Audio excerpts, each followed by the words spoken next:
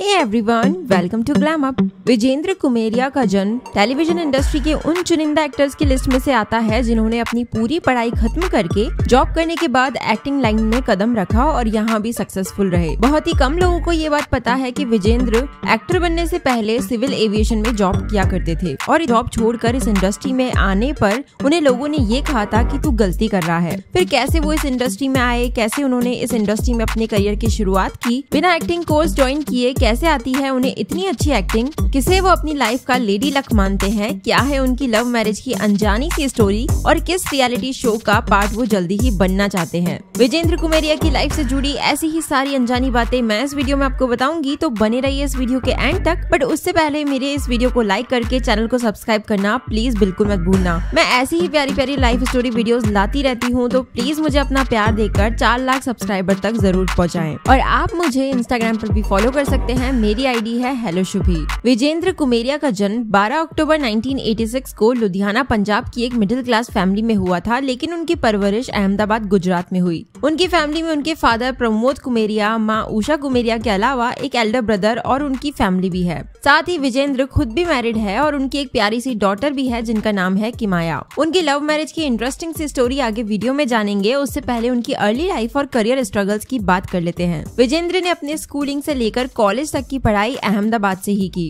अपने school days से ही वो एक्स्ट्रा करिकुलर एक्टिविटीज़ में एक्टिव थे और स्टेज फेस करने की आदत उनकी वहीं से पड़ गई थी। बाद में कॉलेज डेज़ में आते ही उन्होंने मॉडलिंग भी की और कॉलेज की रैम्प वॉक्स में भी वो पार्टिसिपेट करने लगे। बट उनके मन में सिर्फ़ एक्टर बनने का सपना था। पर क्योंकि वो एक मिडिल क्लास फैमिली से है और बचपन से उनके पेरेंट्स ने उन्हें पढ़ाई करके एक सिक्योर जॉब पा लेने की ही एडवाइस दी थी, इसलिए विजेंद्र ने कभी अपनी पढ़ाई को लाइटली नहीं लिया और उनकी बात मानकर सबसे पहले जॉब पकड़ी। दरअसल बीकॉम में ग्रेजुएशन करते करते पहले उन्होंने कुछ टाइम कॉल सेंटर में जॉब की। और ग्रेजुएशन खत्म होते ही एक दिन उनके फ्रेंड ने उनसे कहा कि जेट एयरवेज के इंटरव्यूज़ चल रहे हैं, तू भी साथ चल ले। विजेंद्र का मन तो नहीं था बट फिर भी वो इंटरव्यू देने चले गए। और शायद भगवान को उन्हें मुंबई लाना था, इसलिए वो इसमें सेलेक्ट हो गए और जॉब करने के लिए उन्हें साल 2006 में मुंबई शिफ्ट होना पड़ा। मैं एक बात और क्लियर कर दूँ कि विजेंद्र को लेकर काफ़ी लोगों का मिसकंसेप्शन रहता है कि वो पहले पायलट थे और फिर एक्टर बन गए। बट विजेंद्र ने ये बात खुद ट्वीट करके क्लियर कर दी थी कि वो पायलट नहीं थे, बल्कि जेट एयरवेज में as a cabin crew domestic और इंटरनेशनल फ्लाइट्स के लिए जॉब किया करते थे, जिसके लिए वो दो साल तक कतार में भी रहे। खैर तो मुंबई आकर पहले वो फिर से साइड बाय साइड मॉडलिंग करने लगे बट वो इसको लेकर ज़्यादा सीरियस नहीं थे तो उन्होंने वो आइडिया ड्रॉप कर दिया और एविएशन जॉब स्टार्ट कर दी। इसी दौरान उनकी मुलाकात उनकी वाइफ प्रीति से हुई, जो खुद भी कैबिन क्रू थी। दोनों के बीच तभी से ही बहुत अच्छी दोस्ती थी, बाद में दोनों को प्यार हो गया और शादी का पहला प्रपोजल खुद प्रीति ने ही विजेंद्र के सामने रखा था क्योंकि विजेंद्र इनिशिएट ही नहीं कर पा रहे थे। इस पर प्रीति ने क्लियरली उनसे कह दिया था कि मैं उस टाइप की लड़की नहीं हूँ जो टाइम पास करे और भूल जाए, और वो उनसे शादी भी करना चाहती है। विजेंद्र के मन में पहले से ही उनके लिए सेम फीलिंग्स थी और उन्होंने भी हाँ बोल दिया। और काफ़ी टाइम फ्रेंडशिप और रिलेशनशिप में रहने के बाद विजेंद्र और प्रीति ने साल 2016 में शादी कर ली और इसी साल उनकी बेटी का भी जन्म हुआ। और यही वो ईयर था जिस साल से विजेंद्र के एक्टिंग करियर का ग्राफ ऊपर जाने लगा। और इसलिए वो अपनी बेटी किमाया को अपना लक्की चाम मानते हैं। खैर तो जॉब करने के इनिशियल डेज़ में कहीं न कहीं उनके मन में एक्टर बनने का वो सपना ज़िंदा था। कुछ साल यहाँ जॉब करने के बाद एक दिन अचानक उनके मन में ख्याल आया कि इस सपने को सच करना है तो कर ही लेते हैं। और उन्होंने खुद को डेढ़ साल के लिए चांस दिया और घर पर बोल दिया कि यदि डेढ़ दो साल में कुछ नहीं हुआ तो वो एक्टिंग का सपना छोड़ देंगे। बट डेस्टिनी को उनको लेकर कुछ और ही प्लान थे। अब क्यूँकी एक सिक्योर जॉब उनके हाथ में आ चुकी थी, इसलिए ही उन्होंने एक्टिंग को एक चांस देना ठीक समझा, जिसमें उनके पेरेंट्स भी हमेशा सपोर्टिव रहे और उनकी वाइफ प्रीति भी। पर कुछ रिलेटिव्स और फ्रेंड्स कहने लगे कि विजेंद्र का ये डिसीज़न बिल्कुल गलत है और वो इतनी अच्छी खासी जॉब छोड़ रहा है। ये सब सुनकर उनकी माँ थोड़ा इन बातों से इन्फ्लुएंस हो जाती थी और टेंशन लेने लगती थी। पर उनके फादर ने हमेशा उन्हें सपोर्ट किया और कहा कि जो तुम्हारा पैशन है, उसे ज़रूर एक मौका देना चाहिए। उन्होंने बालाजी टेलीफिल्म के लिए सबसे पहला ऑडिशन दिया था बट वो उसमें रिजेक्ट हो गए थे। बाद में काफ़ी ऑडिशन देने के बाद रिजेक्ट होते होते उन्हें एक दो सीरियल्स में छोटे मोटे रोल्स मिले, जिनमें से दूरदर्शन के एक शो में उन्हें पहला रोल एक साइड रोल मिला था, जिस शो के बारे में रियरली ही लोगों को पता है। वो उनकी लाइफ का पहला रोल था और उसके बाद एक और शो उन्होंने डीडी नेशनल के साथ किया। साइड रोल होने की वजह से उन्हें कोई खास पहचान नहीं मिली। इसके बाद वो जी टीवी के शो छोटी बहू सीज़न टू में साल 2011 में कास्ट किए गए, जिसमें उन्होंने जॉली भारद्वाज का रोल प्ले किया था। अभी तक ये सभी साइड रोल्स ही थे बट इस शो से उन्हें थोड़ी पहचान मिली और उन्हें अच्छे रोल्स के ऑफर्स मिलने लगे। न कभी एक्टिंग और ना ही कभी थिएटर करने वाले विजेंद्र का कहना है कि ऑडिशंस और रिजेक्शन की प्रोसेस में वो पता नहीं कब एक्टिंग सीख गए। छोटी बहू शो के बाद वो प्यार का दर्द है शो में समीर देश पांडे के रोल में नज़र आए। इसके बाद शास्त्री सिस्टर्स में रजत सरीन के रोल में। बट साल 2016 में उन्हें उड़ान शो में सूरज का पैरल लीड निभाने का चांस मिला और ये शो उनकी इतनी साल की मेहनत का टर्निंग पॉइंट साबित हुआ। इस शो में उनके कैरेक्टर की काफ़ी रफ एंड शेडी साइड देखने को मिली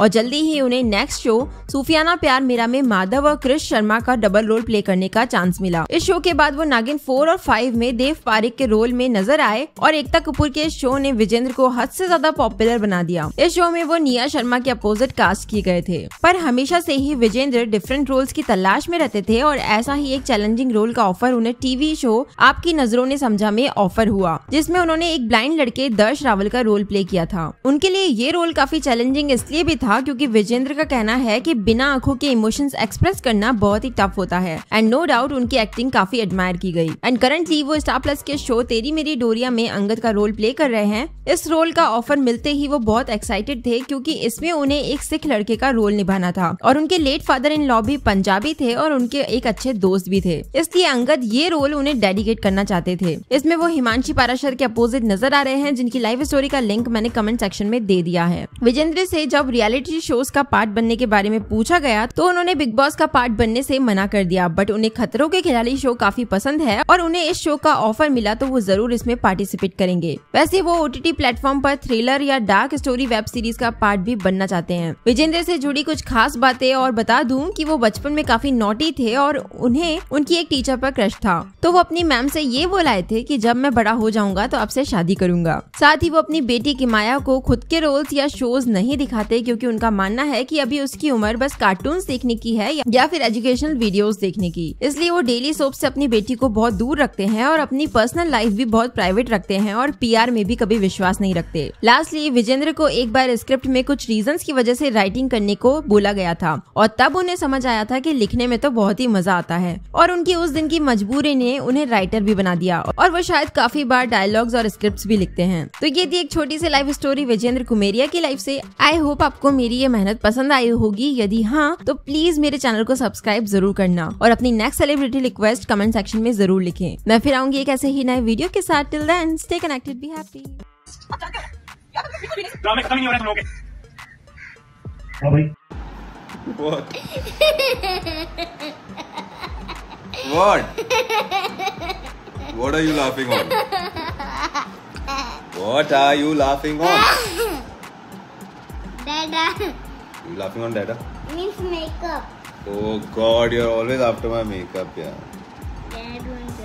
okay, I'm going for shark. shot. Bye.